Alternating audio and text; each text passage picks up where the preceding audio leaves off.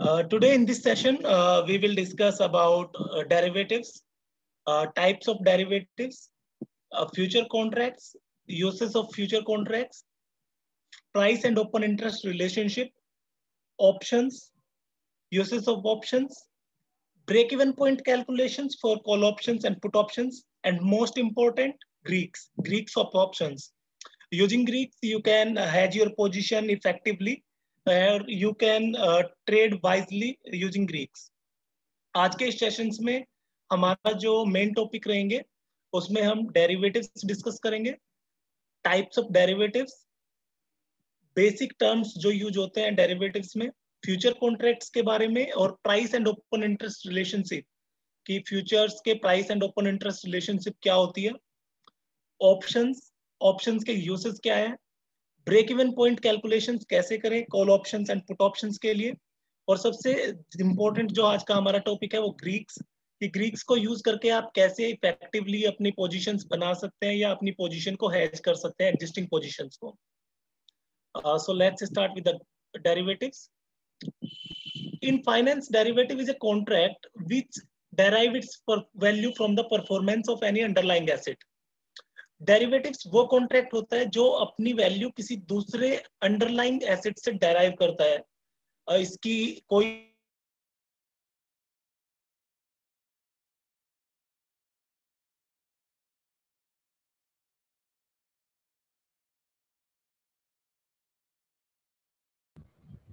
Vipin your voice is not audible Vipin your voice is not audible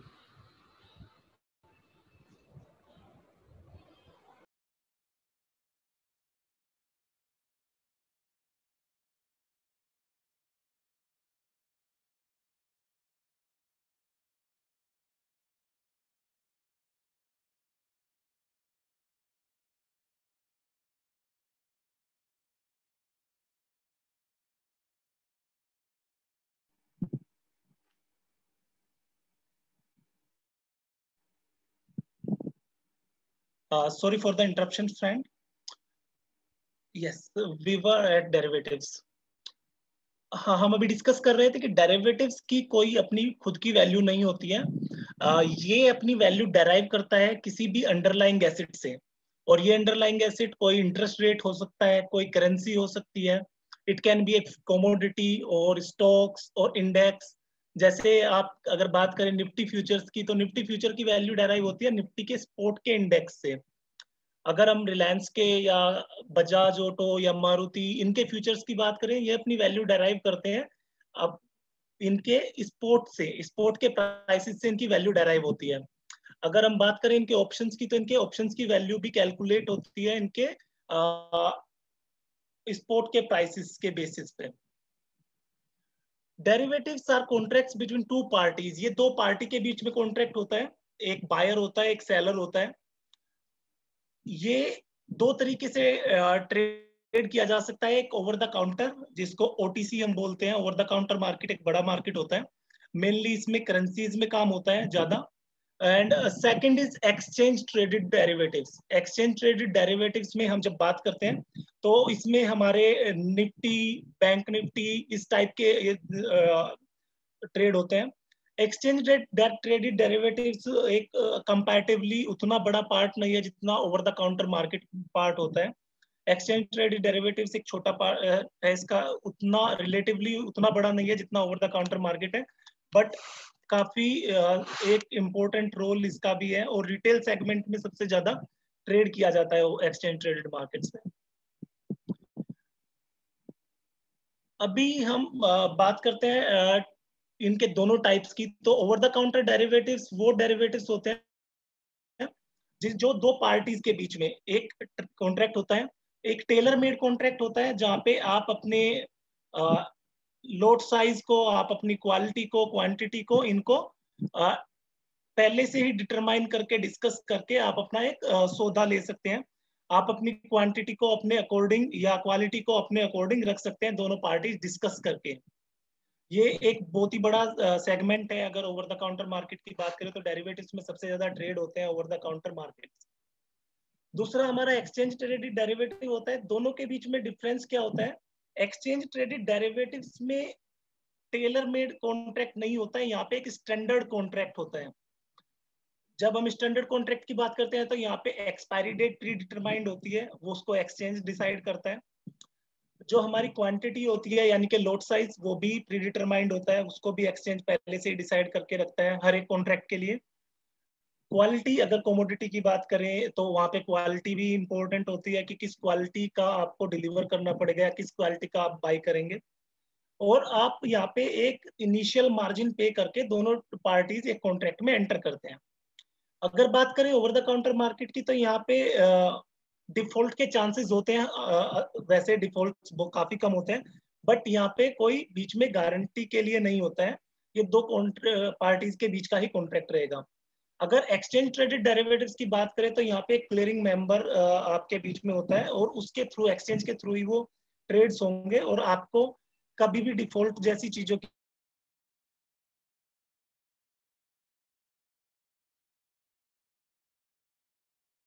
सुरक्षित रहता है और वो एक्सचेंज ही उसको फिर आ, आगे उसकी ऑब्लिगेशन होती है कि वो उसको फुलफिल करें। अब बात करते हैं बेसिक टर्म्स जो हम सबसे ज़्यादा यूज़ करते हैं। एक सबसे ज़्यादा सुनने में आता है कि लोड साइज़ लोड साइज़ यहाँ पे जब हम बात करते हैं स्पॉट मार्केट की तो स्पॉट मार्केट में आप एक इंडिविजुअल शेयर खरीद सकते हैं। बट जब हम बात करते हैं डेरिवेटिव्स की, यहाँ पे एक प्री डिटरमाइंड क्वांटिटी होती है। उस स्टैंडर्ड क्वांटिटी को ही आपको बाय करना होता है।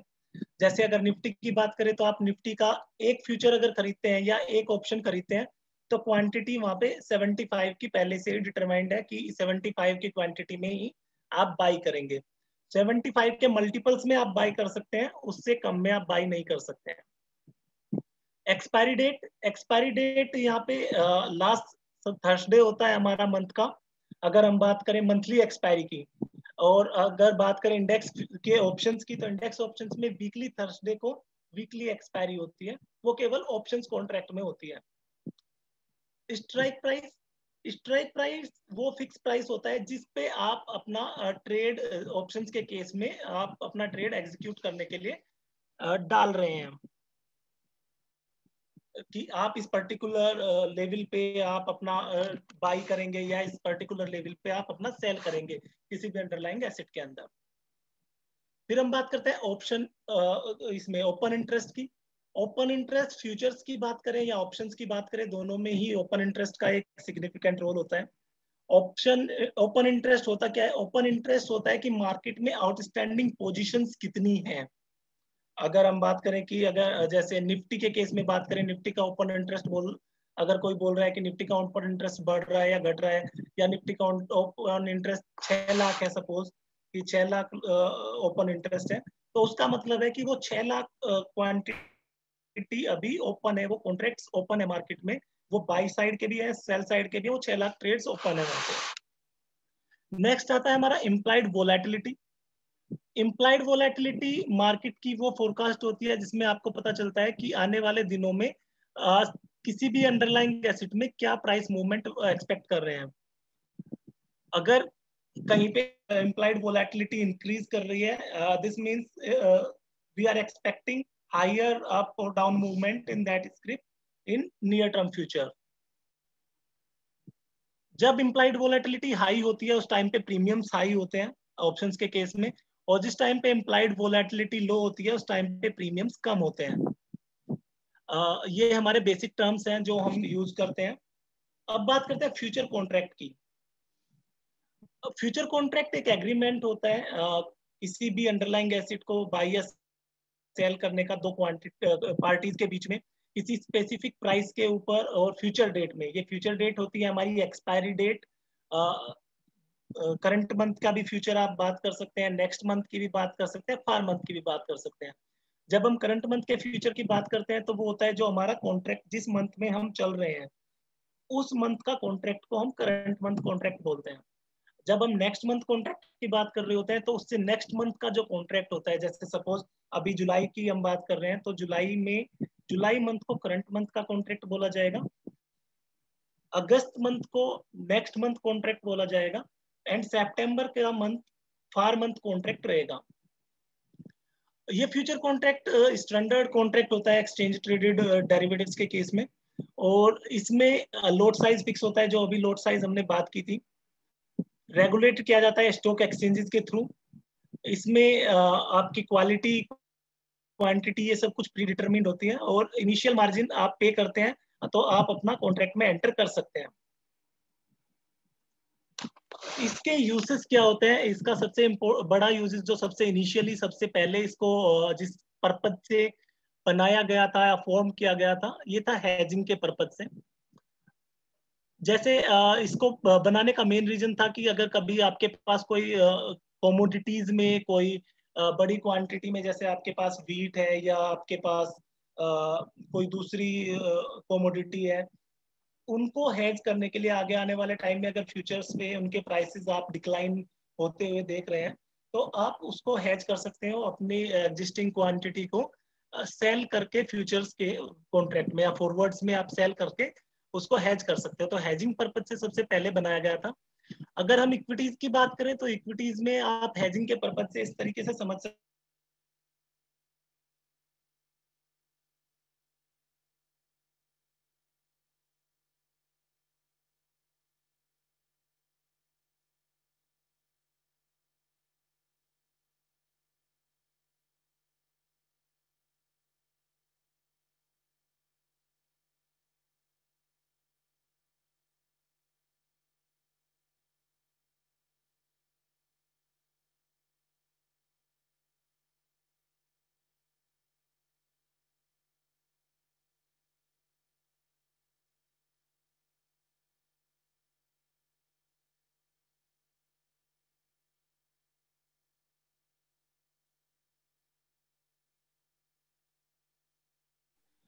जब इक्विटीज के कॉन्टेक्स्ट में बात करते हैं तो हेजिंग इस तरीके से हम यूज़ करते हैं फ्यूचर्स के through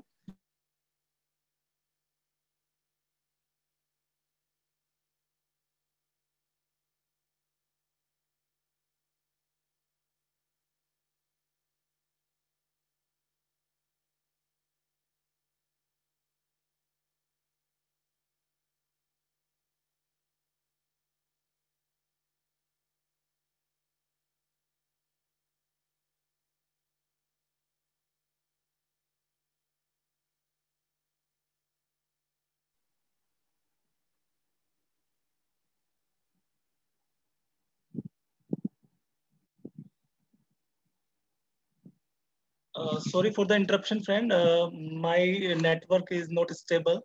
Uh, जी जब हम बात करते हैं हेजिंग के कॉन्ट्रैक्ट्स में तो हेजिंग इक्विटीज के कॉन्टेक्स्ट में तो इक्विटीज में आप इस तरीके से हेज कर सकते हैं जब आपके पास सपोज़ किसी भी कंपनी के शेयर्स हैं सपोज़ आपके पास रिलायंस इंडस्ट्रीज़ के शेयर्स हैं और रिलायंस इंडस्ट्रीज़ को आप अपने शेयर्स को हैज़ करना चाहते हैं क्योंकि आने वाले टाइम में आप सर्टेन नहीं है और आप अपने शेयर्स को बेचना नहीं चाहते हैं। आप आगे वाले टाइम के लिए थोड़ा सा अनसर्टेन फील कर रहे हैं कि आने वाला फ्यूचर थोड़ा सा अनसर्टेन है अप डाउन हो सकता है।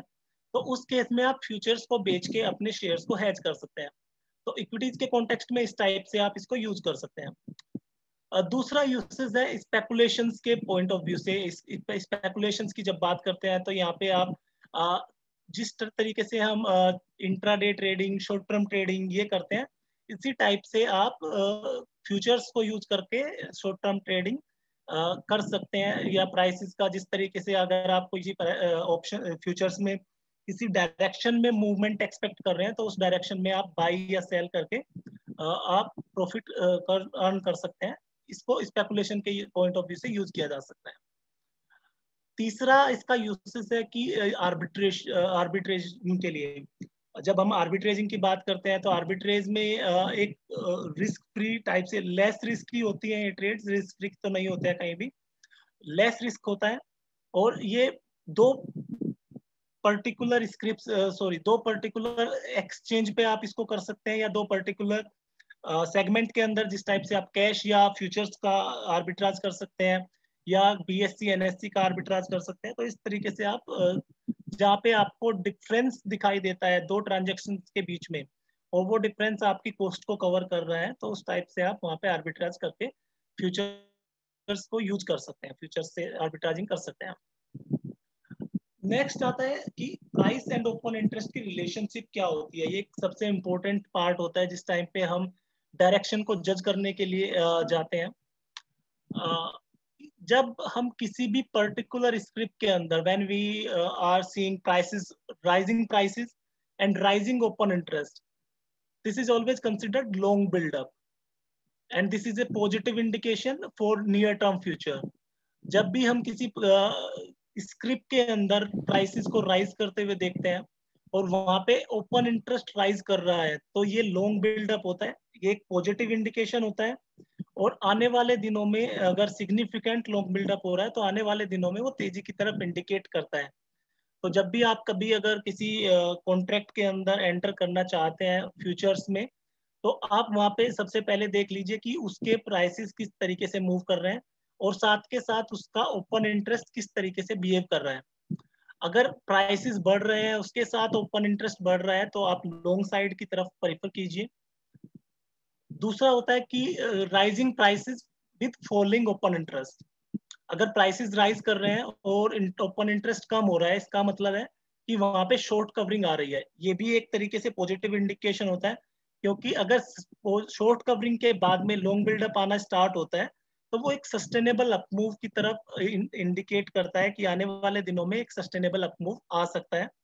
और आप वहाँ से अपनी पोजीशंस को या तो अगर आपके पास शॉर्ट पोजीशन है तो इसको स्क्वायर ऑफ़ करने के लिए देखें, या अपना एक स्टॉप लॉस प्लेस कर दें, या फिर आप कर सकते हैं कि अगर आपके पास पोजीशन नहीं है तो उन शेयर्स पे नज़रें रखें जहाँ पे शॉर्ट कवरिंग आ रही है, और जब वहाँ पे सिग्निफिकेंट लॉन्ग बिल्डअप दिखाई देता है तो वहाँ पे आप उसको लॉन्ग साइड पे एंटर कर सकते हैं।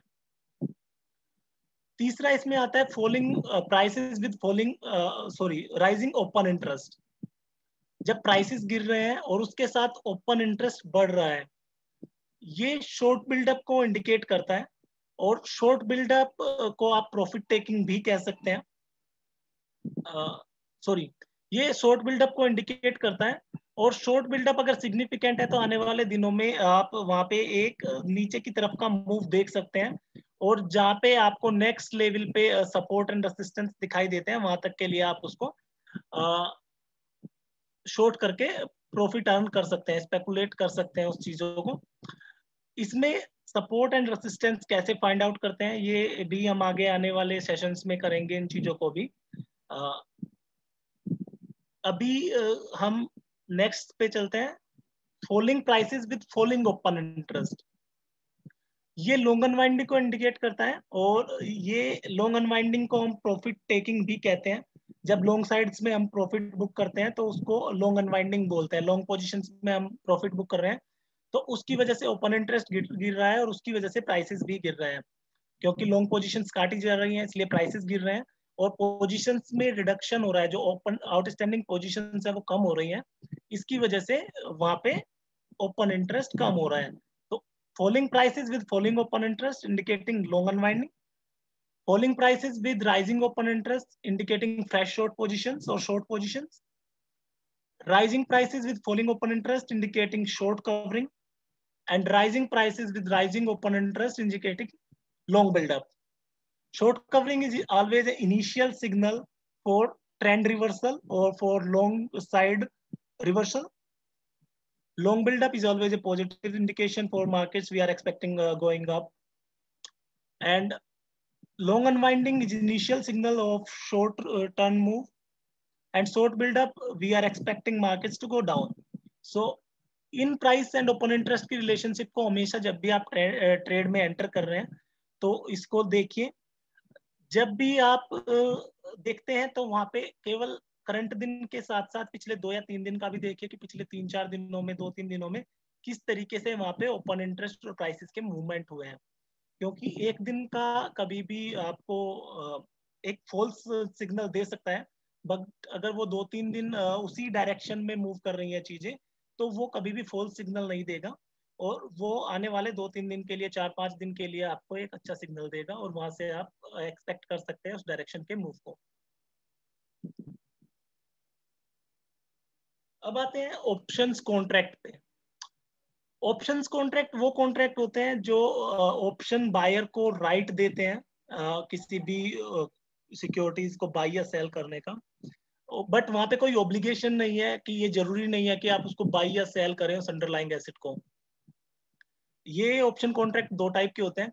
एक होता है कॉल ऑप्शन एक होता है put option in call option buyer has the right to buy an underlying asset at a price determined while entering the contract call option में बायर के पास राइट होता है, उस अंडरलाइंग एसिड को बाई करने का, उस प्राइस पे जो हमने पहले ही डिटरमाइन किया है। जिस, जैसे हम स्ट्राइक प्राइस बोलते हैं तो स्ट्राइक प्राइस वो प्राइस होता है, जिस प्राइस पे आप उस अंडरलाइंग एसेट को बाय करने के लिए कॉन्ट्रैक्ट कर रहे हैं। जबकि पुट ऑप्शन की अगर बात करें तो buyer has the right but not the obligation to sell the underlying asset जब ऑप्शन कॉन्ट्रैक्ट में फ्यूचर्स की बात करते हैं तो वहाँ सॉरी पुट ऑप्शन की बात करते हैं तो वहाँ पे बायर के पास राइट right होता है, उस कॉन्ट्रैक्ट को सेल करने का, बट कोई ओब्लिगेशन नहीं है आपके पास कि आपको उसको सेल करना है, आप उसको पहले ही एक्सरसाइज कर सकते हैं। दोनों ही कॉन्ट्रैक्ट में बायर के पास राइट होता है उसको एक्सपायरी से पहले ही सेटल करने का। आप जैसे अगर सपोज़ मैंने आज कोई ट्रेड लिया है और मैं उसको कल एक्सरसाइज करना चाहता हूँ तो मैं एक्सरसाइज कर सकता हूँ। अब बात करते हैं कि कॉल ऑप्शंस को हम कब बाई करते हैं और पुट ऑप्शंस को हम कब बाय करते हैं। जब हम कॉल ऑप्शंस की बात कर रहे हैं ऑप्शन के बायर के पास राइट होता है बाय करने का। और बाय कब करेंगे? जब वो अगर आने वाले दिनों में तेज़ी एक्सपेक्ट कर रहे हैं, तब वो बाइंग के लिए बैट करेंगे। तो कॉल ऑप्शन को हम तब बाय करते हैं जब हम आने वाले दिनों में तेज़ी देख रहे हैं, जब हम आने वाले दिनों में एक्सपेक्ट कर रहे हैं कि यहाँ से प्राइसेस ऊपर जाएँगे किसी भी अंडरलाइंग एसेट के या किसी भी इंडेक्स के तो अब उस टाइम पे हम कॉल ऑप्शंस को बाय करते हैं। और कॉल ऑप्शंस को हम बाई किस स्ट्राइक प्राइस का करें? क्योंकि हम उस स्ट्राइक प्राइस के लिए बैट करने जा रहे हैं। सपोज़ uh, मार्केट अभी चल रहा है पंद्रह हज़ार सात सौ पे और हमने बाई करने के लिए बैट डाला कि मैं सोलह हज़ार चार सौ का कॉल ऑप्शन बाई कर लेता हूँ। अगर आप एक्सपेक्ट कर रहे हैं कि मार्केट में प्राइसेस सोलह हज़ार चार सौ के ऊपर तक जाएगा तब आप उस उस स्ट्राइक प्राइस पे बैट कीजिए। अदरवाइज़ आप उस स्ट्राइक प्राइस पे बैट मत कीजिए कि चौदह हज़ार सोलह हज़ार चार सौ पे मैं बाई कर लेता हूँ स्ट्राइक प्राइस पे। क्योंकि अगर आप उस लेवल पे बाई करेंगे तो चांसेस है कि आपको वहाँ पे लॉस होगा। क्योंकि अगर वहाँ तक प्राइसेस नहीं जाते हैं तो आपके ऑप्शंस के प्रीमियम ज़ीरो हो जाएँगे और आपको लॉस लगेगा। अब ऑप्शंस के प्राइसेस ज़ीरो क्यों होंगे? वो हम आने वाले जो अपनी नेक्स्ट स्लाइड्स हैं, उन स्लाइड्स में डिस्कस करेंगे जो हम ग्रीक्स पढ़ेंगे अभी। ग्रीक्स में डिस्कस करेंगे कि ऑप्शंस के प्राइसेस इस टाइप से ज़ीरो क्यों हो जाएँगे। तो आपको जब भी बैट करना है, आप कॉल ऑप्शन बाय करते टाइम हमेशा ध्यान रखें कि आप उन स्ट्राइक प्राइस को सिलेक्ट कीजिए जहाँ तक आप एक्सपेक्ट कर रहे हैं कि मार्केट एक से एक्सपायरी के अंदर जा सकता है या उसके ऊपर तक जा सकता है। क्योंकि अगर उसके ऊपर तक नहीं जाएगा तो भी आपको लॉस होने के चांसेस रहेंगे। जब हम बात करते हैं पुट ऑप्शंस की तो पुट ऑप्शंस में हम उस टाइम पे बाय करते हैं, जब हम एक्सपेक्ट कर रहे हैं कि मार्केट में प्राइसेस फॉल करेंगे, यहाँ से डिक्लाइन आएगा, और उस टाइम पे हम पुट ऑप्शंस को बाय करते हैं। अब जिस टाइप से हमने पोल के केस में किया, उसी टाइप से पुट के केस में भी करना होगा कि हमको वो स्ट्राइक प्राइस सेलेक्ट करने होंगे पुट ऑप्शंस को बाय करने के लिए, जहाँ तक हम मार्केट को जाते हुए देख रहे हैं। जिस लेवल तक हम एक्सपेक्ट कर रहे हैं कि मार्केट जाएगा उसी लेवल के अंदर के आप स्ट्राइक प्राइस सेलेक्ट कीजिए। अदरवाइज़ आपको लॉस होने के चांसेस काफ़ी ज़्यादा रहेंगे प्रोबेबिलिटी ज़्यादा रहेगी कि आपको लॉस होगा। जिस टाइम पे हम कॉल ऑप्शन या पुट ऑप्शन को सेल करते हैं उस टाइम पे वो कॉन्ट्रैक्ट सेलेक्ट करने चाहिए जहाँ तक आप मार्केट को जाते हुए नहीं देख रहे हैं। सपोज़ uh, कि अभी हमने सोलह हज़ार चार सौ की बात की कॉल के केस में। अगर हम एक्सपेक्ट कर रहे हैं कि मार्केट सोलह हज़ार दो सौ पे काफ़ी स्ट्रॉन्ग रेसिस्टेंस है, तब आप सोलह हज़ार दो सौ के ऊपर के ऑप्शन सेल कर सकते हैं कॉल ऑप्शंस क्योंकि हम वहाँ तक मार्केट को जाते हुए नहीं देख रहे हैं और जो आपके थीटा डिके है, वो थीटा डिके आपको जो टाइम वैल्यू डिके है, वो टाइम वैल्यू डिके आपको बेनिफिट करेगा और आप उस केस में प्रॉफिट अर्न कर सकते हैं ऑप्शन को सेल करके। इसी तरीके से जब मार्केट में प्राइसेस गिर रहे हैं, उस टाइप से, या स्टेबल हैं तो स्टेबल के केस में भी आप पुट ऑप्शन को भी सेल कर सकते हैं। उससे भी आपको वो स्ट्राइक प्राइस सेलेक्ट करने चाहिए जिस स्ट्राइक प्राइस तक आप उसको जाते हुए नहीं देख रहे हैं। अगर उस स्ट्राइक प्राइस तक जाएगा तो सेल के केस में अनलिमिटेड लॉस हो, सकता है आपको। कॉल ऑप्शन या पुट ऑप्शन अगर आप बेचते हैं तो बेचने के केस में अनलिमिटेड लॉस की प्रोबेबिलिटी होती है। और आपको जो प्रॉफिट पोटेंशियल होता है वो लिमिटेड होता है। इसलिए सेल करते टाइम ज़्यादा कोशिशली सेल करना चाहिए। जब आप बाय कर रहे हैं, उस टाइम पे भी ज़्यादा कोशिशली बाय करना चाहिए, क्योंकि आपको हमेशा इस चीज़ का ध्यान रखना है कि अगर लॉस होगा तो आपका पूरा कैपिटल जो आपने उस कॉल ऑप्शन या पुट ऑप्शन को बाय करने के लिए पे किया है प्रीमियम वो आपका प्रीमियम ज़ीरो हो सकता है। इसलिए सबसे ज़्यादा इंपॉर्टेंट है कि स्ट्राइक प्राइस को सिलेक्ट करना।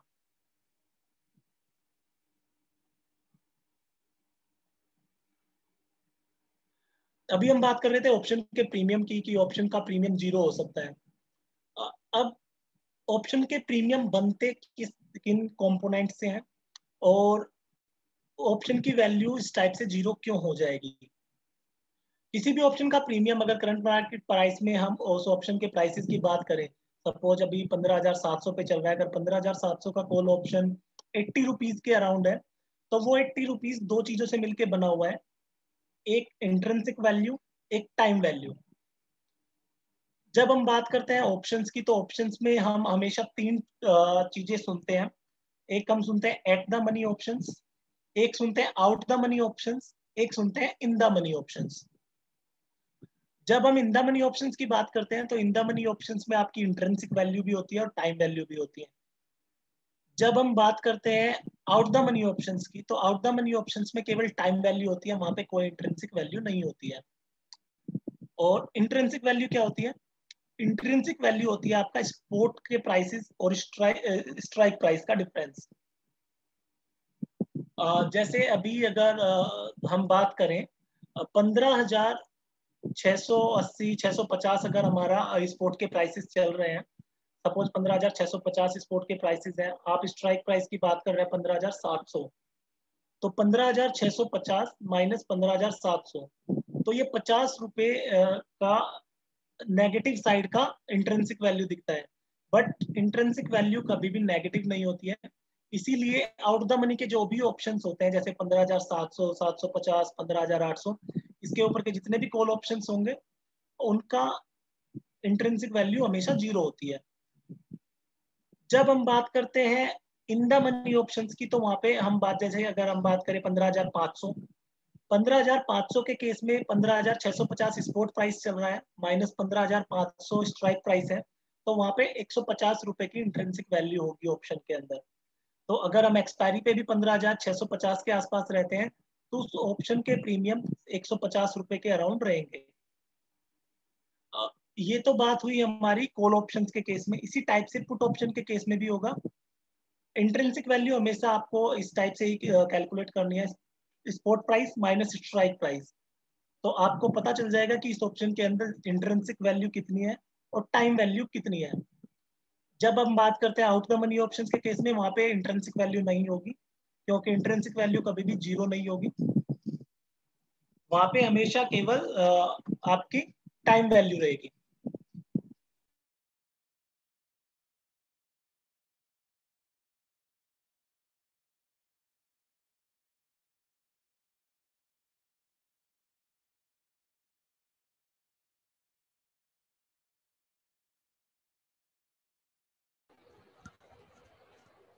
Vipin, your voice is not audible. Uh, yes, sir, Preet. So I think ये चीज़ें क्लियर हो गई होंगी कि ऑप्शंस प्रीमियम uh, किस टाइप से होते हैं हमारे ऑप्शंस प्रीमियम के लिए सबसे ज़रूरी ये चीज़ें क्यों होती है कि हम क्यों इन चीज़ों को समझें कि इंट्रेंसिक वैल्यू कहाँ पे होती है टाइम वैल्यू कहाँ पे होती है ये इस वजह से सबसे ज़्यादा ज़रूरी होता है कि टाइम वैल्यू आपको पता होना चाहिए कि टाइम वैल्यू टाइम के साथ साथ धीरे धीरे ज़ीरो हो जाएँगी उसके वैल्यू ज़ीरो हो जाएगी और आप उसको आ, अगर वो इन द मनी नहीं होता है तो इन द मनी नहीं होगा तो उस केस में वो ज़ीरो हो जाना है। जब हम बात करते हैं इंदा मनी की तो इंदा मनी के केस में आपको पहले ही पता रहेगा कि अगर ये हमारा यहाँ पे एक्सपायर इसी प्राइस पे भी होता है तो हमारी कितनी वैल्यू इसके अंदर बचेगी। दूसरा इसको, इस वजह से भी यूज़ करने का सबसे ज़्यादा ज़रूरी होता है इन चीज़ों को कि अगर आप एक्सपेक्ट कर रहे हैं कि जैसे आपने कॉल ऑप्शन बाय किया, पंद्रह हज़ार आठ सौ का मैंने कॉल ऑप्शन बाय कर लिया, अभी छह सौ पचास चल रहा है तो मैं एक्सपेक्ट कर रहा हूँ कि पंद्रह हज़ार नौ सौ तक मार्केट चला जाएगा तो उस केस में आपको पहले ही पता रहेगा कि आपको एक्सपायरी पे कितने रुपए की इंट्रेंसिक वैल्यू उस केस में वहाँ पे बचेगी। और उस इंट्रेंसिक वैल्यू के बेसिस पे आप डिसीज़न ले सकते हैं कि क्या आपको बाय करना चाहिए इस कॉल ऑप्शन को, या पर्टिकुलर पुट ऑप्शन को आपको बाय करना चाहिए या नहीं करना चाहिए। तो आप हमेशा पहले ये चीज़ डिसाइड कीजिए कि आप कहाँ तक मार्केट को जाते हुए देखना चाह देखते हैं। अजम्पन्स पे नहीं, आप उन चीज़ों पे देखिए कि क्या उसके लेवल्स बनते हैं वहाँ तक जाने के, क्या ये वहाँ तक जा सकता है। अगर कोई बड़ी न्यूज़ आने वाली है तो उस न्यूज़ को एक पहले एक फंडामेंटल एनालिस्ट से डिस्कस कर लेना चाहिए कि इस न्यूज़ का कितना इम्पैक्ट आ सकता है। उसके बाद उस पर डिसाइड कीजिए कि हाँ अगर इतना इम्पैक्ट आ सकता है तो मैं ये कॉल ऑप्शन बाय कर सकता हूँ या ये कॉल ऑप्शन सेल कर सकता हूँ। न्यूज़ के इम्पैक्ट को भी हम आगे इन चीज़ों को भी देखेंगे, क्योंकि जब हमने बात की थी अभी इम्प्लाइड वोलेटिलिटी की जब हमने इम्पोर्टेंट टर्म्स पढ़े थे तो इम्पोर्टेंट टर्म्स में था इम्प्लाइड वोलेटिलिटी और वहाँ पे हमने ये चीज़ डिस्कस की थी कि अगर इम्प्लाइड वोलेटिलिटी ज़्यादा है तो ऑप्शन के प्रीमियम हाइयर रहेंगे। जब इम्प्लाइड वोलेटिलिटी कम है तो ऑप्शंस के प्रीमियम कम रहेंगे। अगर कोई इवेंट भी है तो इवेंट के केस में होता क्या है? इवेंट के केस में ये होगा कि अगर आईवी पहले ही काफ़ी ज़्यादा बढ़ी हुई है तो उस टाइम पे डिसीज़न लेने के लिए आप आईवीज को कंपेयर कीजिए। जो आपकी ऑप्शंस की आईवीज हैं, उनको आप इंडेक्स अपने जो पर्टिकुलर उसी अंडरलाइंग एसिड की। जब हम बात करते हैं निफ्टी की, अगर निफ्टी के ऑप्शंस में आप ट्रेड करना चाह रहे हैं, किसी इवेंट के बेसिस पे तो ऑप्शंस की आईवी चेक कीजिए जिस ऑप्शन को आप ट्रेड कर रहे हैं। प्लस आप निफ्टी की आईवी चेक कीजिए कि निफ्टी की आईवी अभी क्या चल रही है। अगर निफ्टी की आईवी ज़्यादा है तो आने उसमें आप बाई कर सकते हैं। अगर आईवीज ऑप्शंस की कम है, निफ्टी की ज़्यादा है अगर ऑलरेडी आईवीज बढ़ी हुई है ऑप्शंस की, उस टाइम पे बाई करना अवॉइड करना चाहिए, क्योंकि अगर वहाँ पे आप बाई करते हैं तो चांसेस हैं कि वहाँ पे फिर आपको कोई प्रॉफिट नहीं होगा। हो सकता है कि लॉस होने के चांसेस ज़्यादा हो। तो प्रोबेबिलिटी उस टाइम पे ज़्यादा रहेगी कि आपको लॉस लगेगा, अगर आईवीज पहले ही ज़्यादा बढ़ चुकी हैं। अब ब्रेक इवन पॉइंट की बात करते हैं। अभी हम बात कर रहे थे कि कौन से स्ट्राइक सेलेक्ट करने चाहिए। अगर मैं मार्केट को एक्सपेक्ट कर रहा हूँ कि पंद्रह हज़ार आठ सौ तक जा रहा है तो क्या मुझे पंद्रह हज़ार आठ सौ बाई करना चाहिए या पंद्रह हज़ार सात सौ बाई करना चाहिए उस केस में? या अगर मैं मार्केट को गिरते हुए देख रहा हूँ और मैं यहाँ से देख रहा हूँ कि पंद्रह हज़ार पाँच सौ आ जाएगा, अगर पंद्रह पाँच सौ आ जाता है तो क्या मुझे पंद्रह पाँच सौ ही बाई करना चाहिए या पंद्रह छह सौ बाई करना चाहिए? इन चीज़ों को ब्रेक इवन पॉइंट से भी आप इजिली समझ सकते हैं। ब्रेक इवन पॉइंट वो पॉइंट होता है जहाँ पे आपकी वैल्यू जो आपने वैल्यू इम्प्लॉय की है डिप्लॉय किया, जो आपने पैसा डिप्लॉय किया है ब्रेक इवन पॉइंट क्या उस पॉइंट को बोलेंगे कि वो आपका पैसा निकल जाए और उसके ऊपर फिर आपको प्रॉफिट या लॉस होने के चांसेस बनेंगे? जैसे ये अगर हम बात करें कॉल ऑप्शन की break even point for call option ये हमेशा रहेगा किसी भी कॉल ऑप्शन के लिए strike price plus premium paid either you have bought a call option or short a call option doesn't matter uh, the only thing is strike plus premium plus premium paid will be the break even point for call option आपने short किया है long किया है इससे कुछ भी फ़र्क नहीं पड़ेगा आपका ब्रेक इवन पॉइंट हमेशा फॉर्मूला सेम रहेगा strike price plus premium paid यहाँ पे हमने एग्जांपल लिया है ये एक हाइपोथेटिकल एग्जांपल है सपोज़ कि हमने निफ्टी का कोई कॉन्ट्रैक्ट बाय किया, बारह हज़ार का कॉल ऑप्शन सेवेंटी फाइव पे। बारह हज़ार का स्ट्राइक प्राइस है प्रीमियम हमने पे किया है सेवेंटी फाइव रुपीज़ का। तो इस फॉर्मूला के बेसिस पे उसका जो ब्रेक इवन पॉइंट रहेगा twelve thousand plus seventy five तो twelve thousand and seventy five this will be the break even point for that call option अगर एक्सपायरी पे बारह हज़ार पिछहत्तर के ऊपर ये आपके प्राइसेस रहते हैं स्पोर्ट के प्राइसेस रहते हैं तो उस केस में आपको प्रॉफिट होने के चांसेस रहेंगे। अगर इसके नीचे रहते हैं तो आपको लॉस होने के चांसेस रहेंगे, क्योंकि जो आपने सेवेंटी फाइव रुपीज़ दिया है, उसको रिकवर तब होगा जब सेवेंटी फाइव के ऊपर रहेगा, बारह हज़ार पिछहत्तर के ऊपर स्पोर्ट के प्राइसेस रहेंगे।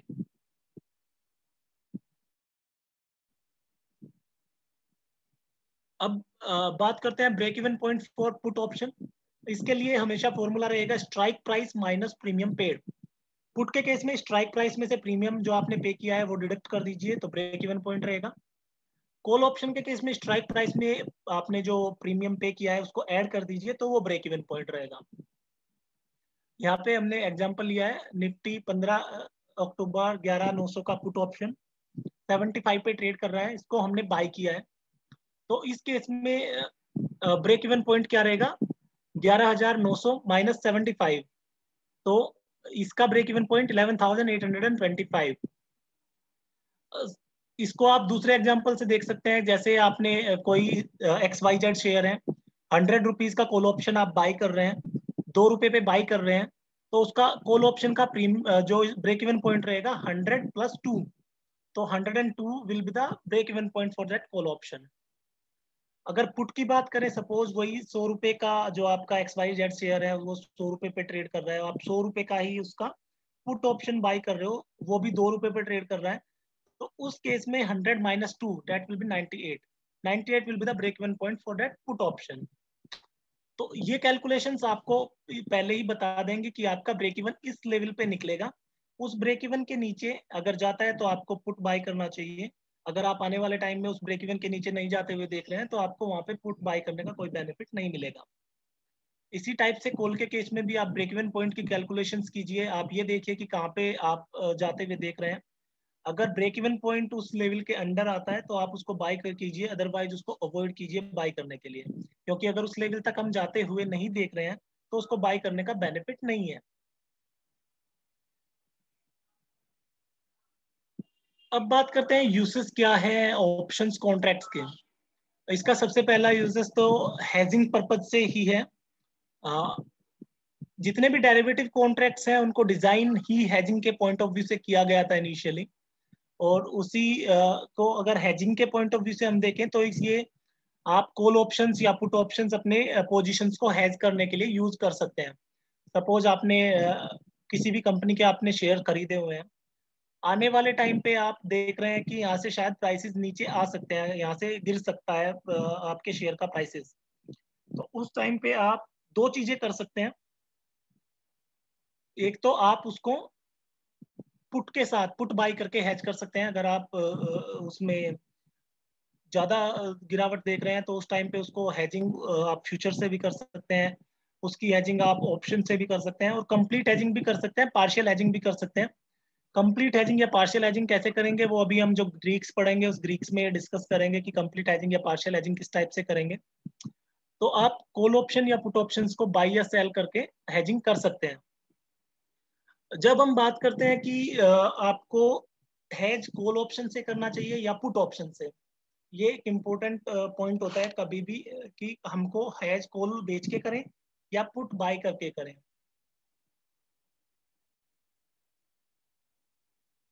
फ्रेंड्स जब भी कोई ऐसी इवेंट आप देख रहे हैं जहाँ पे आप अनसर्टेन है कि प्राइसेस ज़्यादा नीचे जा सकते हैं या किसी भी इवेंट के केस में जिसका एक इम्पैक्ट एक अच्छा इम्पैक्ट आ सकता है, उस केस में आप प्रीफर कीजिए पुट को बाय करके लॉन्ग पोजीशंस को हैज़ करना। क्योंकि अगर आप पुट को बाय करके हैज़ करते हैं तो पुट का प्रॉफिट पोटेंशियल अनलिमिटेड होता है। अगर ज़्यादा गिरावट आती है तो उस ज़्यादा गिरावट को भी वो वहाँ से कंपनसेट कर सकता है। अगर आप कंप्लीट हैजिंग कर रहे हैं, अगर डेल्टा न्यूट्रल हैजिंग कर रहे हैं तो उस केस में वो आपको लॉस नहीं होने देगा। इवन आप वहाँ पे भी अगर आपने डेल्टा न्यूट्रल एजिंग की है तो वो अगर ज़्यादा गिरावट एकदम से आ जाती है तो वो आपको कुछ प्रॉफिट ही देगा, वो आपको लॉस नहीं होने देगा। बट ऐसे केस में अगर आपने कोल को बेच के हैज़ किया हुआ है तो उसका प्रॉफिट पोटेंशियल हमेशा लिमिटेड होता है, जो आपने प्रीमियम रिसीव किया है वही आपका प्रॉफिट पोटेंशियल होगा। एक लेवल के बाद जैसे कि अगर उसके प्राइसेस इतना डिप कर गए, आप, जैसे अगर सौ रुपए की चीज़ है, वो दस रुपए या गिर गई है तो नब्बे रुपए आ गई है, उस केस में उसका बेनिफिट नहीं देगा कॉल से हैज़ करना। वहाँ पे पुट से हैज़ करना ज़्यादा बेनिफिशियल होता है। जब हम बात करते हैं नॉर्मल मार्केट कंडीशंस की, जहाँ पे कोई इवेंट नहीं है, उस टाइम पे आप अपनी पोजीशंस को कॉल बेच के हैज़ कर सकते हैं। उसका बेनिफिट क्या मिलेगा आपको? उसका बेनिफिट ये होगा कि अगर प्राइसेस स्टेबल भी हैं तो स्टेबल प्राइसेस को भी वो कॉल ऑप्शन आपका बिका हुआ, आपको बेनिफिट देगा। उस केस में जब स्टेबल नॉर्मल मार्केट कंडीशन है और स्टेबल है तो उस टाइम पे पुट को बेच के हैच करना उतना ज़्यादा एडवाइजेबल नहीं होता है, क्योंकि वो पुट के जो प्रीमियम है, वो टाइम वैल्यू उसकी कम होती जाएगी वो टाइम वैल्यू का लॉस होगा आपको। तो उस नॉर्मल मार्केट कंडीशंस में जब कोई इवेंट नहीं है जैसे रिजल्ट्स वगैरह नहीं है या कोई आरबीआई की पॉलिसी नहीं है या बजट वगैरह इन चीज़ों से पहले आ, अगर ये चीज़ें नहीं है नॉर्मल मार्केट कंडीशन है आप कॉल बेच के लॉन्ग पोजीशन को हैज़ कीजिए और पुट बेच के शॉर्ट पोजीशन को हैज़ कीजिए। बट अगर कोई इवेंट है तो इवेंट के केस में आप पुट बेच के लॉन्ग पोजीशन पुट बाय करके लॉन्ग पोजीशन को हैज़ कीजिए और कॉल बाय करके शॉर्ट पोजीशन को हैज़ कीजिए। ये हमेशा सजेस्ट करेंगे हम लोग। दूसरा इसका ऑप्शन का यूसेज होता है स्पेकुलेशन के पॉइंट ऑफ़ व्यू से। स्पेकुलेशन के पॉइंट ऑफ़ व्यू से किस टाइप से आप इसको यूज़ कर सकते हैं? जैसे आप किसी भी अंडरलाइंग एसिड को एक डायरेक्शन में मूव होता हुआ देख रहे हैं। हमने अपने प्राइस ओपन इंटरेस्ट रिलेशनशिप से देखा या चार्ट से देखा इन दोनों चीज़ों में से किसी से भी देखा कि प्राइसेस यहाँ से ऊपर जाने वाले हैं। तो आप एक स्ट्राइक प्राइस सेलेक्ट करके, जो स्ट्राइक प्राइस आपको सुटेबल लग रहा है उस टाइम पे कि आप प्राइसेस को कहाँ तक मूव होता हुआ देख रहे हैं, उस स्ट्राइक प्राइस को सिलेक्ट करने के बाद आप उसमें बाई कर सकते हैं तो उससे आप वहाँ पे उस डायरेक्शन में मूवमेंट का बेनिफिट ले सकते हैं। तीसरा हमारा आता है आर्बिट्रेजिंग के पॉइंट ऑफ़ व्यू से। आर्बिट्रेजिंग के पॉइंट ऑफ़ व्यू से भी आप इसको इसको इसको यूज़ कर सकते हैं। आप यहाँ पे मल्टी लैग स्ट्रैटेजीज होती हैं आर्बिट्रेजिंग में। कहीं पे टू लैग स्ट्रैटेजीज भी होती है थ्री लैग स्ट्रैटेजीज भी होती हैं फोर लैग स्ट्रैटेजीज भी होती हैं। उन स्ट्रैटेजीज के थ्रू वहाँ पे आप बहुत ही कम रिस्क वाले ट्रेड में एंटर कर सकते हैं। ये एक इम्पोर्टेंट उसका पॉइंट होता है कि आप इसको एज करने के लिए आर्बिट्रेजिंग के लिए किस टाइप से यूज़ कर सकते हैं। आर्बिट्रेजिंग की स्ट्रैटेजीज कॉम्प्लेक्स स्ट्रैटेजीज होती हैं। किसी भी आर्बिट्रेजिंग के जो एक्सपर्ट हैं, उसकी हेल्प से आप इसको कर सकते हैं। ज़्यादातर इसको हमेशा आर्बिट्रेजिंग अब मशीन बेस्ड होने लगी है। पहले होती थी कि आप पर्सनलाइज्ड उस टाइप से आप ट्रेड ले सकते थे बाई सेल करने के लिए डिफरेंस मिल जाते थे। उस टाइम पे क्योंकि मशीन से अब ट्रेडिंग होने लगी आर्बिट्रेजिंग की तो वो जो डिफरेंस बनता है, वो क्रिएट होता है, वो बहुत ही जल्दी ऑब्ज़र्व कर जाती है सभी सिस्टम्स तो सिस्टम बेस्ड ट्रेडिंग जब से होने लगी है तो अब इसको मैनुअली करना डिफ़िकल्ट होता है। अब आते हैं हमारे जो सबसे इम्पोर्टेंट टॉपिक है आज का ग्रीक्स जो अभी हमने ये पॉइंट्स डिस्कस किए हैं ऊपर। इनका मेन मोटिव था कि हम एक बार इन चीज़ों को समझ लें कि क्या चीज़ें देखनी चाहिए, क्या चीज़ें करनी चाहिए, किस टाइप से आप ब्रेक इवन पॉइंट कैलकुलेट करेंगे। किस टाइप से आप स्ट्राइक प्राइस सेलेक्ट करेंगे, ये चीज़ें। अभी ग्रीक्स का क्या यूज़ होता है, क्या ग्रीक्स होते हैं, वो चीज़ें हम करेंगे। ग्रीक्स वो टर्म होती है जो मार्केट की सेंसिटिविटी को बताती है। कि मार्केट कितना सेंसिटिव है किसी भी पॉइंट को लेके। अगर ग्रीक्स की हम बात करें तो ग्रीक्स मेन ग्रीक्स होते हैं, वो चार या पाँच होते हैं। सबसे पहला होता है डेल्टा डेल्टा होता है प्राइस की सेंसिटिविटी ऑप्शंस प्राइस की सेंसिटिविटी अंडरलाइंग एसिड के कंपैरिजन में। जब हम थीटा की बात करते हैं थीटा होता है time decay time to expiry की सेंसिटिविटी होती है। एक होता है गामा हमारा।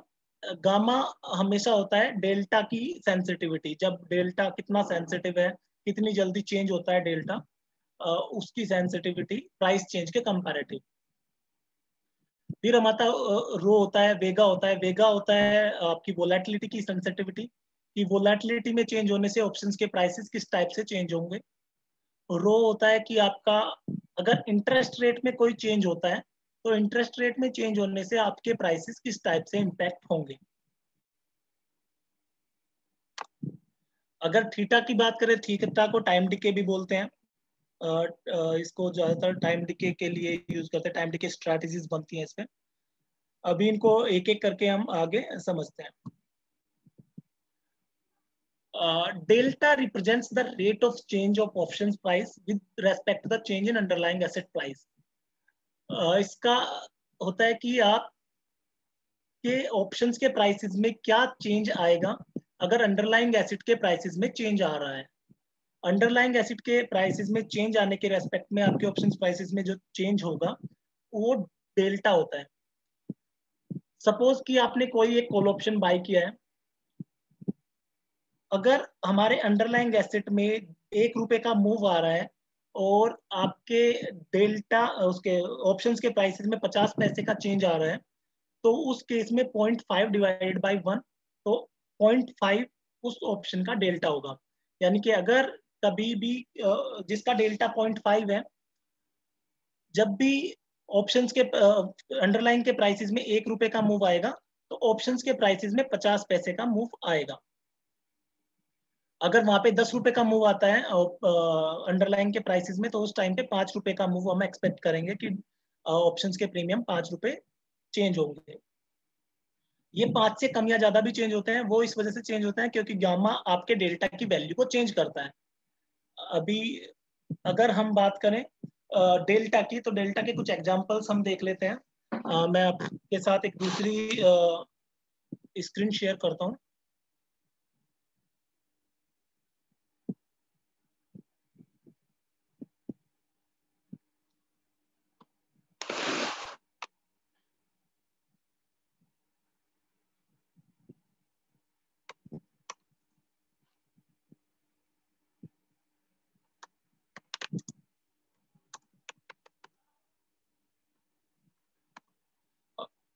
Change in underline.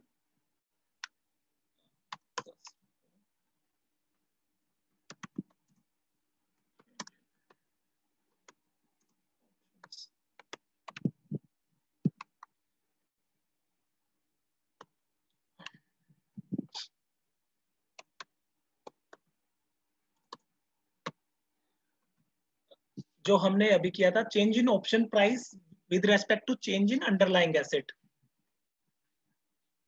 change in option price five rupees का हुआ divided by change in underlying ten rupees तो उस केस में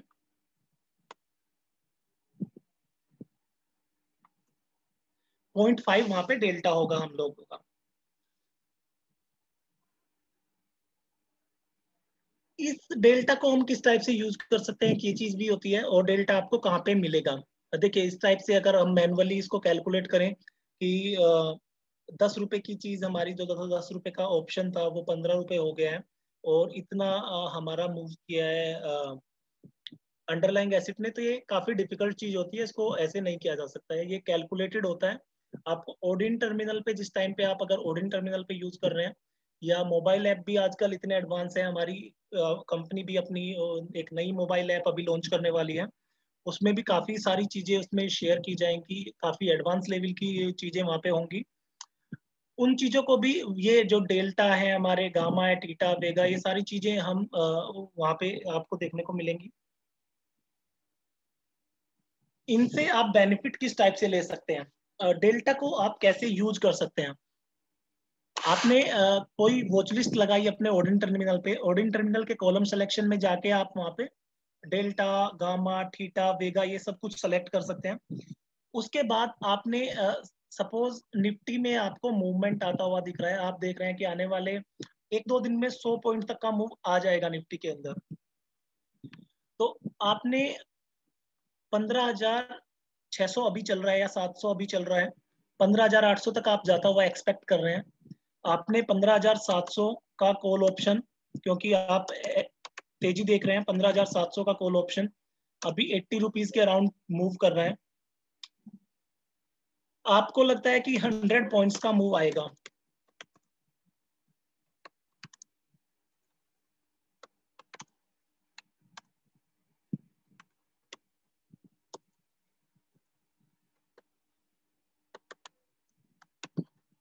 ऊपर की साइड पे हंड्रेड पॉइंट्स का मूव एक्सपेक्ट कर रहे हैं। हमने डेल्टा वहाँ पे चेक किया अपने टर्मिनल पे। डेल्टा की value suppose point four five है। तो आप कैलकुलेट कर सकते हैं इजिली कि हमारा प्राइस टारगेट क्या बनेगा। मैंने हंड्रेड पॉइंट का मूव एक्सपेक्ट किया था। तो ऑप्शन के प्राइसेस किस टाइप से चेंज होंगे? Hundred multiplied by point four five तो अगर आने वाले एक दो दिन में हंड्रेड पॉइंट का मूव आ जाता है तो टाइम डिके का जो डिफरेंस होगा, वो हम टाइम डिके के साथ कैलकुलेट कर लेंगे कि कितना टाइम डिके हो सकता है एक दो दिन में। बट उस टाइम डिके को कंपनसेट अगर वो एक दो दिन में ही मूव आ जाता है तो गामा कर देता है। ये आपका अगर 100 पॉइंट्स का मूव आता है तो 45 पॉइंट्स का मूव आप एक्सपेक्ट कर सकते हैं उस पर्टिकुलर कॉल ऑप्शन में। इस केस में आपके पास पहले से ही अपना टारगेट होगा कि मेरे को इस टारगेट के अराउंड आता है तो मुझे बुक कर देना है। तो आप इसको टारगेट कैलकुलेट करने के लिए यूज़ कर सकते हैं। दूसरा, हम इसको यूज़ कर सकते हैं अपनी पोजीशन को हैज़ करने के लिए। अब पोजीशन को हैज़ किस टाइप से किया जा सकता है? सपोज़ मैंने एट द मनी का कॉल ऑप्शन लिया, पंद्रह छह सौ पचास। पंद्रह छह सौ पचास का कॉल ऑप्शन उसका डेल्टा पॉइंट फाइव है। मुझे लग रहा है कि यहाँ से प्राइसेस नीचे गिर सकते हैं, या स्टेबल रह सकता है। अगर हमको अपने स्टेबल रहता हुआ दिख रहा है, या नीचे गिरता हुआ दिख रहा है तो उस केस में अगर हैज़ करना है सपोज़ आप 100 पॉइंट का मूव देख रहे हैं कि 100 पॉइंट का मूव नीचे की तरफ़ पे आ सकता है। आपको कंप्लीट हैज़ करना है, और आपको 100 पॉइंट से ज़्यादा का मूव नहीं दिखाई दे रहा है, क्योंकि वहाँ पे अच्छे सपोर्ट्स बने हुए हैं। तो आप उसको किस टाइप से हैज़ कर सकते हैं? आप उसको हैज़ करने के लिए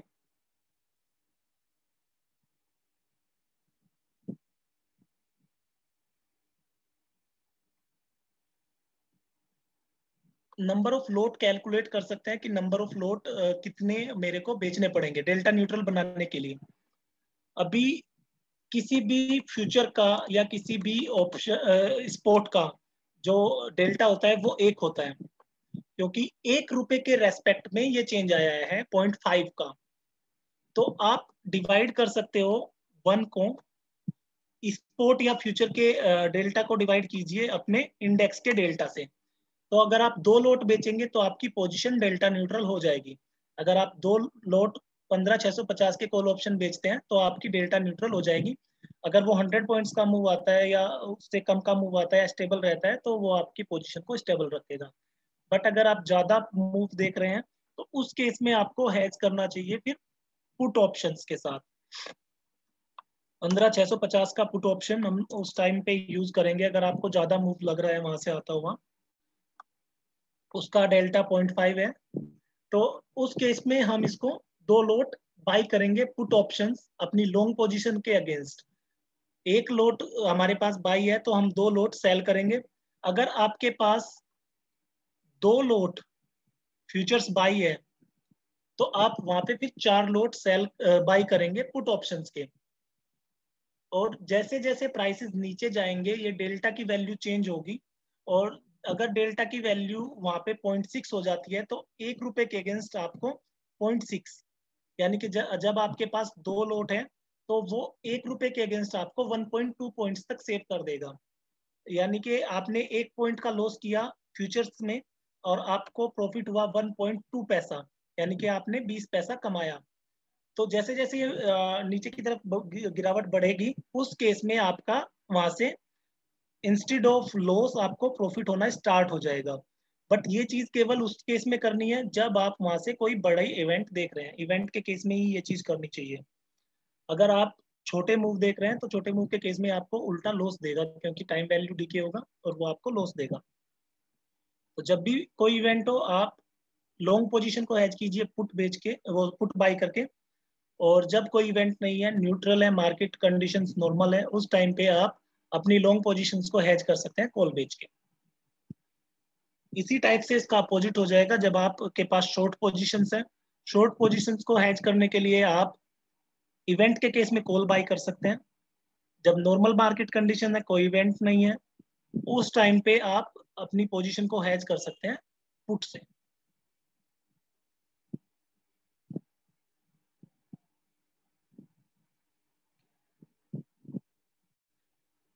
अभी अपने फिर से उसी स्लाइड पे जाते हैं।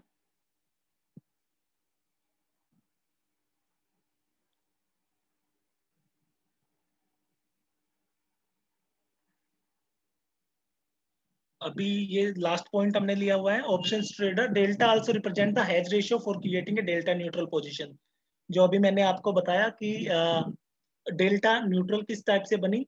हमारी पोजीशन की हमने जो नंबर ऑफ़ लोट है, उस एक जो हमारा डेल्टा हुआ किसी भी इंडेक्स का या स्पोर्ट का डेल्टा एक होगा, उसके डेल्टा को आप अपने ऑप्शन के डेल्टा से डिवाइड कर दीजिए। तो वहाँ से आपको एक hedge ratio optimal hedge ratio मिल जाएगा और आप डेल्टा न्यूट्रल पोजिशन क्रिएट कर सकते हैं। अगर आप उसको केवल डेल्टा न्यूट्रल ही रखना चाहते हैं तो आपको टाइमली रिवाइज करना पड़ेगा अपने ट्रेड को।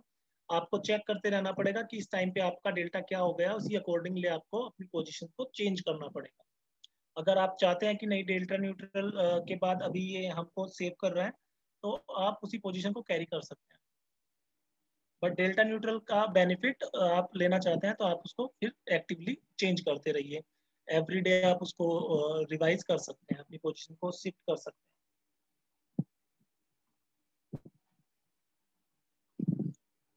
हैं। नेक्स्ट हमारा ग्रीक आता है theta theta represents the rate of change between the option price and time to expiry ये हमारा जो हमारी सेंसिटिविटी होती है इसको टाइम डिके भी बोलते हैं। ये रिप्रेजेंट करता है कि ऑप्शन के प्राइसेस में क्या चेंज होगा टाइम के रेस्पेक्ट में। सपोज़ कि किसी भी अंडरलाइंग uh, एसिड का अगर थीटा पॉइंट फाइव है तो ऑप्शन का प्राइसेस पर डे जैसे जैसे टाइम पास होता जाएगा वो पॉइंट फाइव से डिक्रीज होना स्टार्ट हो जाएगा। अगर दूसरी चीज़ें नॉर्मल रहती है प्राइसेस के मूवमेंट नॉर्मल रहते हैं, वहाँ पे कोई प्राइसेस का मूवमेंट नहीं देखने को मिल रहा है तो उस केस में आपको वहाँ पे टाइम डिके देखने को मिलेगा। टाइम डिके हमेशा आप लॉन्ग जो लॉन्ग करके चलते हैं, जो ऑप्शंस को बाई करते हैं, उनके लिए एक नेगेटिव पॉइंट होता है टाइम डिके क्योंकि टाइम के साथ साथ आपकी ऑप्शंस की टाइम वैल्यू डिक्रीज होती जाती है। और जो ऑप्शन सेलर है उनके लिए बेनिफिशियल होता है टाइम डिके क्योंकि ऑप्शन सेलर को वो बेनिफिट करता है। जैसे जैसे टाइम टू एक्सपायरी कम होता जाएगा उसकी टाइम वैल्यू कम होती जाएगी और एक्सपायरी पे टाइम वैल्यू ज़ीरो हो जाएगी। तो जो टाइम वैल्यू अभी बची हुई है वो टाइम वैल्यू आपकी ऑप्शन सेलर के, के लिए theta decay positive side का काम करेगा और ऑप्शन बायर के लिए नेगेटिव साइड का।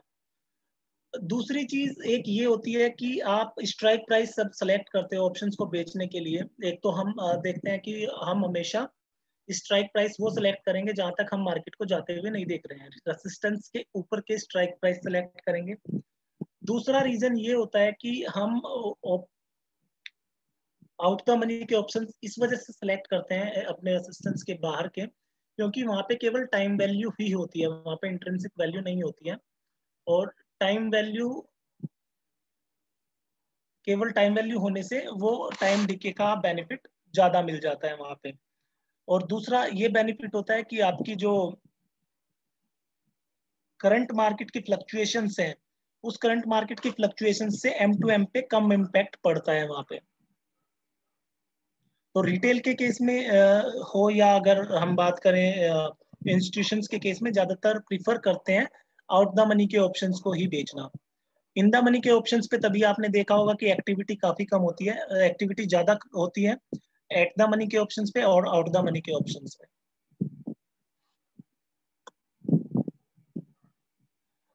नेक्स्ट uh, हमारा आता है गामा अभी हमने बात की थी डेल्टा की।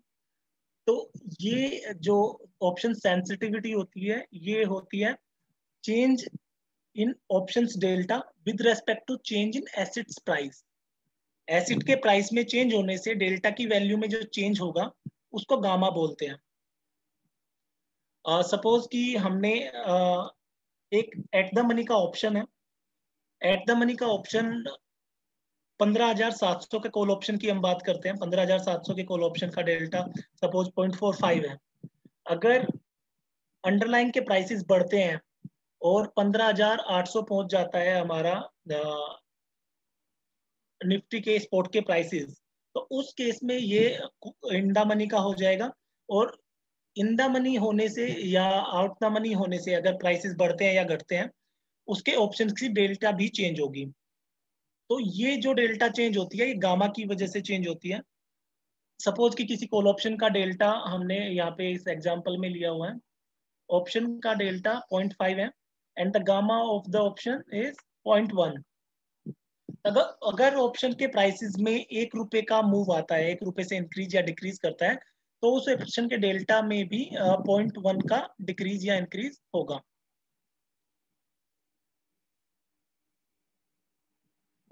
जहाँ पे गामा की वैल्यू ज़्यादा होती है, वहाँ पे हम ज़्यादा चेंज देखते हैं डेल्टा की वैल्यू में होता हुआ। जहाँ पे गामा की वैल्यू कम होती है, वहाँ पे ऑप्शंस के प्राइसेस में कम मूवमेंट की एक्सपेक्टेशन होती है। ये चीज़ें आप हमेशा ध्यान रख सकते हैं कि आप, अगर बाइंग के केस में या सेलिंग के केस में आप इन चीज़ों को देख सकते हैं कि गामा आप देखें और उससे आपको एक आइडिया मिल जाएगा कि इसके प्राइसेस ज़्यादा तेज़ी से या डेल्टा से तो आपको टारगेट का भी पता चल जाएगा डेल्टा से ये भी पता चल जाएगा कि कितने तेज़ी से आपके ऑप्शंस के प्रीमियम बढ़ेंगे या घटेंगे। दूसरा आपको गामा से ये पता चल जाएगा कि आपका डेल्टा में क्या चेंज आएगा। और डेल्टा में चेंज आने से आपको आपके प्रीमियम पे भी इम्पैक्ट पड़ता हुआ दिखाई देगा।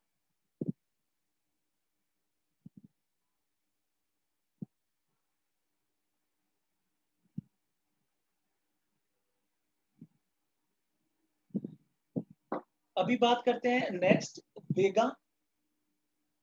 Vega represents the rate of change between our options value and underlying assets implied volatility.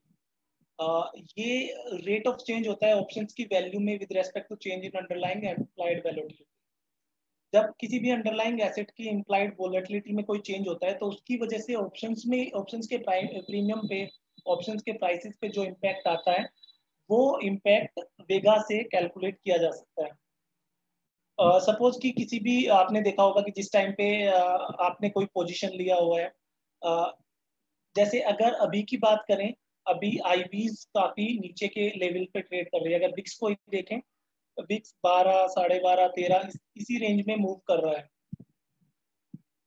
अगर यहाँ से विक्स बढ़ना स्टार्ट करता है या यहाँ से निफ्टी के आईवीज बढ़नी स्टार्ट करती हैं तो उससे इम्पैक्ट क्या पड़ेगा? उससे ये इम्पैक्ट पड़ेगा कि आपके ऑप्शंस के प्रीमियम अगर हमारी निफ्टी की वैल्यू भी चेंज नहीं हो रही है, केवल आई भी चेंज हो रही है तो उससे भी आपके ऑप्शंस के प्राइसेस चेंज होंगे।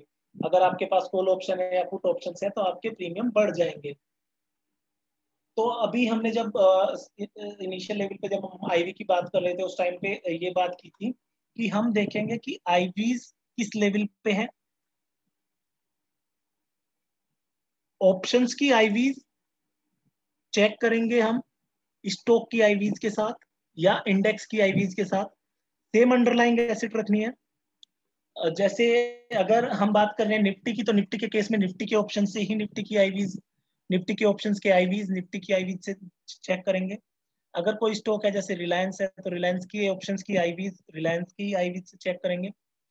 या आपके पास बैंक निफ्टी है तो बैंक निफ्टी के ऑप्शंस की आईवीज बैंक निफ्टी की आईवीज से ही चेक करेंगे।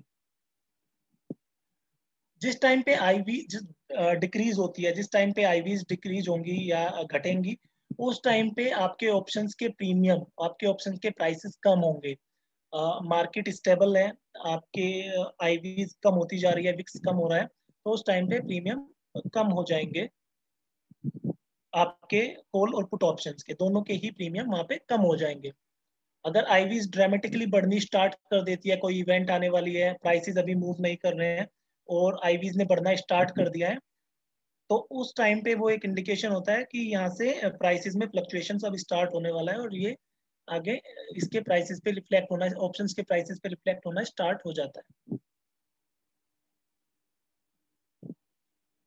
नेक्स्ट इसको बोलते हैं हम रो रो ऑप्शन की वो सेंसिटिविटी होती है, जो ऑप्शंस की वैल्यू में क्या चेंज होगा with respect to change in interest rate और किसी भी ऑप्शंस का जो ये रो आपकी सेंसिटिविटी है, ये जो मनी ऑप्शंस होते हैं, वहाँ पे ज़्यादा होती है और जहाँ पे टाइम टू एक्सपायरी ज़्यादा होती है वहाँ पे ज़्यादा होती है। जब टाइम टू एक्सपायरी कम होता है तो वहाँ पे ऑप्शंस की जो ये वाली सेंसिटिविटी होती है इंटरेस्ट रेट के रेस्पेक्ट में, ये कम होती है।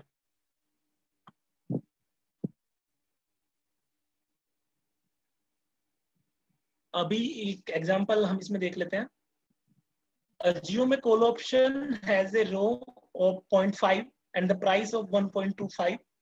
If the interest rate rises by 1%, then the value of call option would increase by 0.5. जो अपने ऑप्शन रो है उसके उसी रेशो से वो बढ़ जाएगा अगर एक परसेंट का चेंज होता है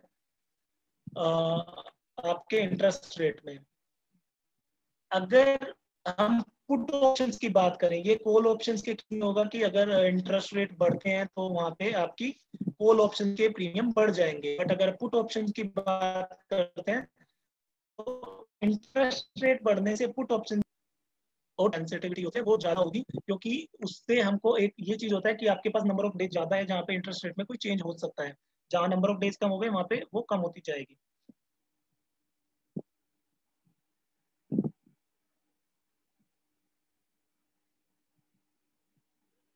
डेल्टा न्यूट्रल डेल्टा न्यूट्रल हम अभी जब हम डेल्टा पढ़ रहे थे तो डेल्टा उस टाइम पे हमने डेल्टा न्यूट्रल किया था। किस टाइप से आप ऑप्टिमल रेशियो कैलकुलेट कर सकते हो? किस टाइप से आप अपनी पोजीशन को डेल्टा न्यूट्रल बना सकते हो? डेल्टा न्यूट्रल एक्चुअली ये चीज़ होती है कि जहाँ पे आपके, अगर छोटे प्राइस मूवमेंट आ रहे हैं तो उस छोटे प्राइस मूवमेंट से आपके पोर्टफोलियो पे कोई इम्पैक्ट ना पड़े। यानी कि डेल्टा न्यूट्रल रहे अगर प्लस साइड का या नेगेटिव साइड का कोई इम्पैक्ट आता है तो वो उसको आपको प्रोटेक्ट करके रखें। ये केवल उसी केस में आप डेल्टा न्यूट्रल बनाना चाहिए, जिस टाइम पे आप एडवर्स मार्केट कंडीशंस देख रहे हैं, जिस टाइम पे आपको लग रहा है कि टाइम अनसर्टेन है, किसी भी साइड के मूव आ सकते हैं।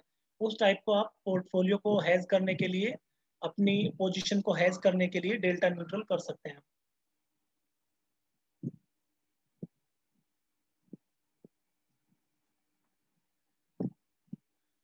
थीटा डीके जैसे अभी डेल्टा के बाद हमने थीटा पढ़ा था, थीटा डीके वो होता है, जब आप टाइम वैल्यू के डीके का बेनिफिट लेना चाहते हो जब आप टाइम डीके की वजह से जो टाइम वैल्यू में डिक्रीज होता है, ऑप्शंस के प्रीमियम घटते हैं, उसका बेनिफिट लेना चाहते हो, वो थीटा डीके होता है। थीटा डीके स्ट्रेटजीज को हम इस टाइप से बनाते हैं, जो आपकी शॉर्ट स्ट्रेंगल या शॉर्ट स्ट्रेडल्स होते हैं, short strangles mainly theta decay पे बेस्ड होते हैं आईवीज एंड थीटा डिके। आप आईवीज बेचते हैं, आप टाइम डिके बेचते हैं टाइम वैल्यू बेचते हैं वो आपके थीटा डिके होते हैं। और इसमें सबसे मेन अप्रोच यही होती है कि वहाँ पे आपकी जो टाइम वैल्यू है, उस टाइम वैल्यू का बेनिफिट लेना। आप सपोर्ट या रेसिस्टेंस के ऊपर के ऑप्शंस सपोर्ट के नीचे के ऑप्शंस बेचते हैं। वहाँ पे आपको जो टाइम डिके होता है, उसका बेनिफिट मिलता है। और वो बेनिफिट आपको प्रॉफिट में कन्वर्ट होता है। उस बेनिफिट को लेने के लिए अभी भी फिर से रिपीट करूँगा कि आईवीज चेक कीजिए, जहाँ पे आईवीज ज़्यादा हैं ऑप्शंस की आईवीज ज़्यादा हैं, आपके आपके उस पर्टिकुलर अंडरलाइंग एसेट की आईवीज से, उस आईवी को आप, उस ऑप्शन को आप शॉर्ट कीजिए सपोर्ट एंड रेसिस्टेंस के बाहर वाले ऑप्शंस को, जब आप स्ट्रेंगल क्रिएट करते हैं। अगर स्ट्रेडल की भी बात करें, स्ट्रेडल पे भी अगर आईवी ज़्यादा हो चुकी हैं तो आई उसको भी कंसिडर किया जा सकता है। बट आप अगेन उस चीज़ को कैलकुलेट कीजिए कि ब्रेक इवन पॉइंट क्या आता है। क्या वो ब्रेक इवन पॉइंट हमारे सपोर्ट एंड रेसिस्टेंस को कवर कर रहा है?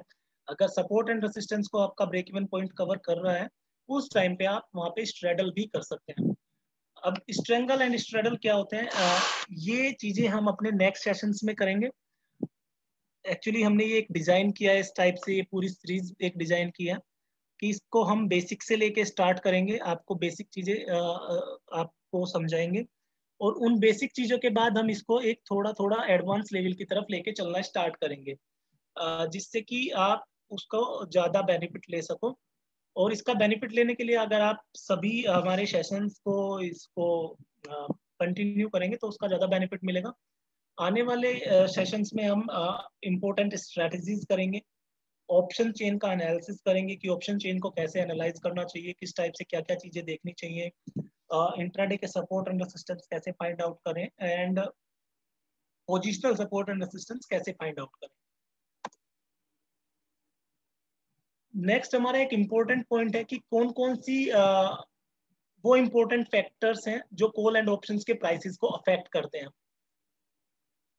इंक्रीज इन वोलेटिलिटी आपको पॉजिटिवली इंपैक्ट करेगा ऑप्शंस के प्राइसेस को, चाहे वो कॉल ऑप्शन हो या पुट ऑप्शन हो। अगर आपने कॉल ऑप्शन बाय किया हुआ है या call option put option buy किया हुआ है तो आपके ऑप्शन के प्राइसेस बढ़ेंगे।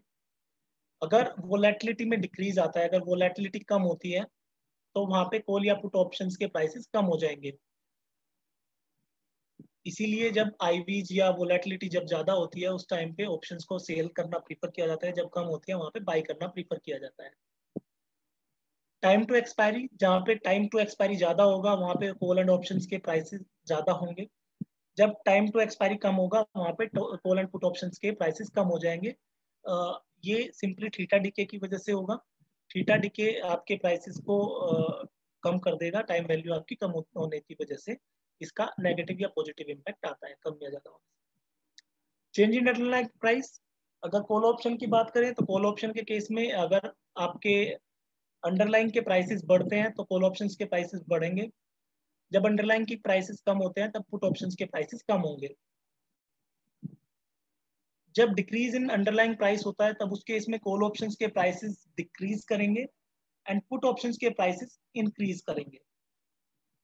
तो ये मेजर फैक्टर्स हैं जो इन्फ्लुएंस करते हैं ऑप्शंस के price and this is all from my side